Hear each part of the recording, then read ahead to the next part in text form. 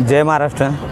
आज महाराष्ट्र नवनिर्माण सेना महिला आघाडीच्या वतीने बचत गटाच्या कर्जमाफीच्या संदर्भामध्ये धरणे आंदोलन आयोजित केले होते. बरेच दिवस झाले कोरोनाच्या संद संकटामध्ये सगळ्यांचे आर्थिक कंबरडे मोडलेले आहे.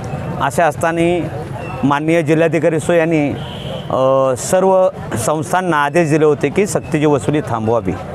पण काही मायक्रोफायनान्स बचत गट बँका ही लोक महिलांच्या घरी जाऊन धमकावणे त्यांना सिबिल खराब होईल असा काही काहीही सांगून त्यांच्याकडून सक्तीची कर्ज वसुली करण्यात येत होते. ही गोष्ट महाराष्ट्र नवनिर्माण सेनेच्या लक्षात आल्यानंतर आम्ही त्या संदर्भात चौकशी केली तर त्यामध्ये सत्य आढळून आलं.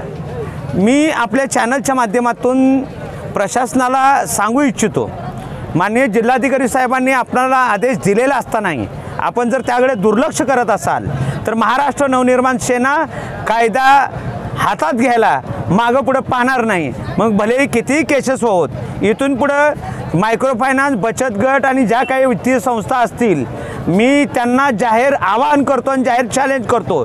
इथून पुढं जर त्यांनी मायक आमच्या माता भगिनींना पैशाच्या कर्जाच्या तक सक्तीची वसुलीबाबत जर त्यांनी कुठलंही धोरण अवलंबलं तर त्यांचे कसे पाय बांधायचे हे महाराष्ट्र नवनिर्माण सेनेला काही नवीन नाही.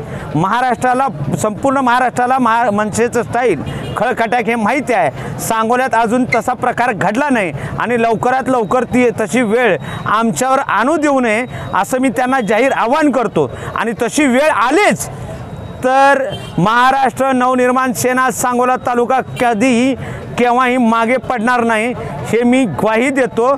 जय हिंद जय महाराष्ट्र.